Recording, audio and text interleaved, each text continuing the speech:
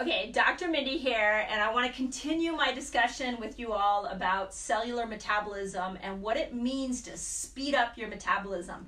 So, I can't tell you how many times I'll sit with a patient and they'll say to me, My metabolism's slow. It's just that my metabol- metabolism's slow. I'm not eating that bad.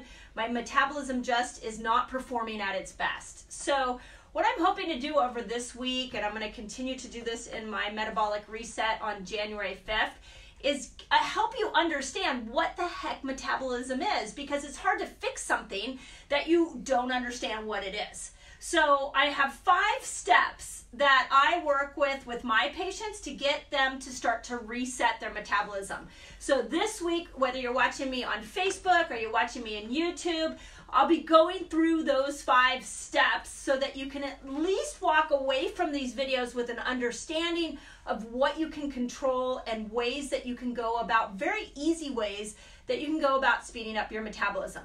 So let me start off with a big overarching principle because I think it's important to have some context in which to put this in. What is fat? Why do you get fat that starts to accumulate on the body? And what I want you to start to realize when you see fat accumulating on your body that those are areas that your body is trying to put toxins. Now, think about it from the body's perspective. If the toxic load is building, building, building, would it make more sense to put those toxins in your heart and your lungs? Or would it make more sense to take those toxins and actually store them in some place that's not life, uh, putting your life in danger? So all that extra weight is are these toxins that have accumulated in the receptor sites of your cells, they've accumulated on the inside of the cell. That's all that fat is. So what you've got to do in order to release the weight and to speed up your metabolism is you've got to make the cell healthy. Okay? So that's my big second thing I want you to know is that when you look at the human body, and there are 72 trillion cells in our body, if, if your cells ha- are healthy, then they're going to spit off a ton of energy. So this is one of the ways you know if your cells are healthy is if you have great energy. If you don't have great energy, then that's one of the first signs that there's something going on with the cell that's making it sick. So as you go through life, as you accumulate more and more of these sick cells, like I mentioned, the body will start to store it in fat, but also your energy will come down. So when I'm talking about metabolism, I'm talking not only about I want you to look great in your skinny jeans, but I want you to have limitless, like insane amount of energy. And if you come at weight loss from a cellular healing point of view, that will happen to you. Make sense? So, with these five steps, I'm going to start with step one today. This is the, and they're in the order in which you need to go about repairing these cells. Okay? Step one this outer membrane makes a huge difference on if you are getting nutrients into the cell and if toxins are going to get out of the cell. There are three ways that you need to start to repair this outer membrane. The first is you need to lower your glucose, and glucose comes in the form of breads, pastas, sugars, sugary drinks, alcohol, uh, even fruits. You have to start to lower this down. Now, I know we're at the holidays, it's really hard to think about doing that, but even if you took one day and you decided between now and, and Christmas or now and New Year's, you were going to lower those, those foods down breads, pastas, alcohol, sh- refined sugar, uh, fruits, and you were going to lower them down, what starts to happen is you start to make this outer cell porous, and now nutrients can get in and toxins get out, can get out. Second thing that this cell membrane needs is it needs you to change your oils. Stop eating the canola oil, the safflower oil, the sunflower oil. Those are inflammatory oils. When you go out to eat, find out what oil they're cooking with if you're like on a diet trying to lose weight and you're putting these harmful oils in there, then what ends up happening is this outer uh, membrane becomes inflamed, it becomes rigid, and toxins can't get out of the cell. So lower your carbs, lower your sugar, make sure you're eating the right oils, and then the last thing is start to look at where you may be getting toxified.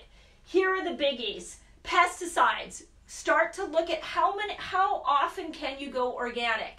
So, can you just commit to fruits and vegetables being organic?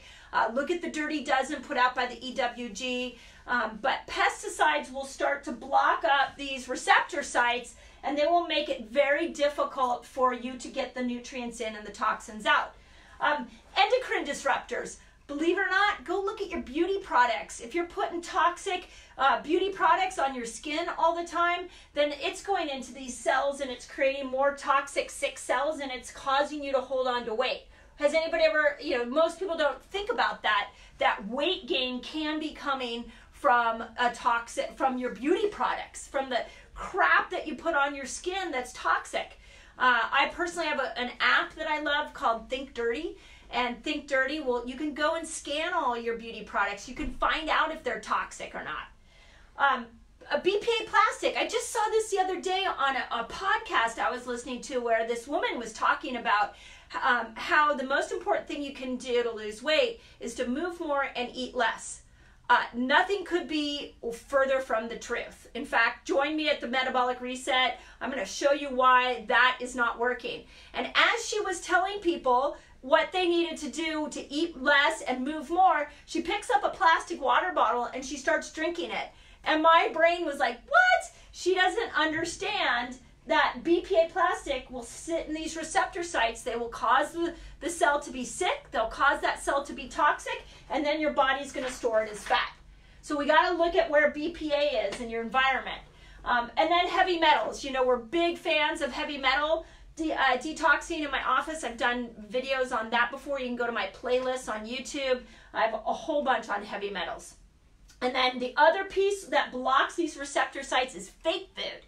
So fake food is like your chips, your Doritos, your uh, your um, processed meats with like nitrates in it. Um, anything I say that you could leave in your pantry, go on a vacation for a couple weeks and come back. If it still is fresh and appetizing, it's either a dead food or it's a fake food. But fake food is getting caught in these receptor sites, sites making cells uh, sick.